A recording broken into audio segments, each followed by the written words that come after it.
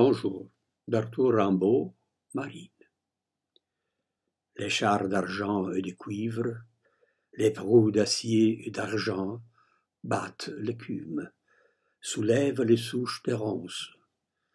Les courants de la lande et les ornières immenses de reflux filent circulairement vers l'est, vers les piliers de la forêt, vers le fût de la jetée, dont l'angle est heurté par des tourbillons de lumière.